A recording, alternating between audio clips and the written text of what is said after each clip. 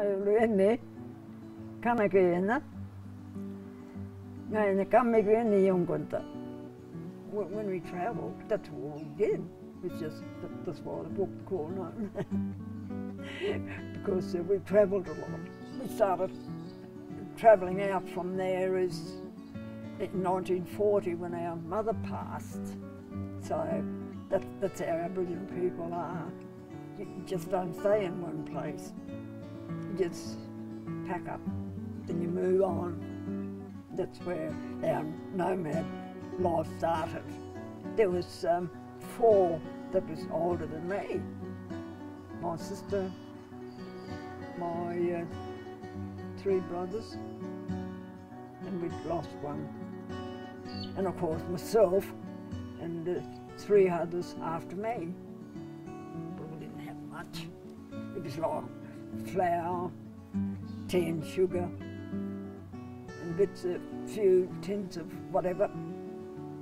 But we were satisfied enough with just having like uh, tea and damper and with jam on it. That's all really got mainly. And then of course Dad hunted game like kangaroos and rabbits and things like that.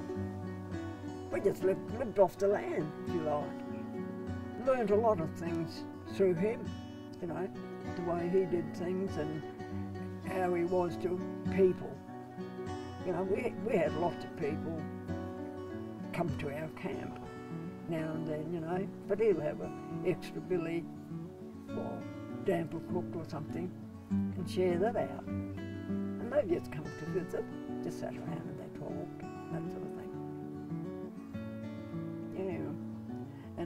I tell them um, various ones, oh, my father's passed now. And they go, oh, I feel so sorry. I said, now who, who- who's going to feed us? We didn't have beds or anything.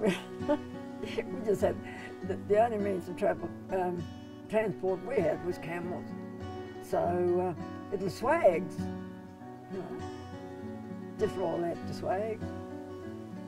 And ca- yeah, under the stars, and the moon.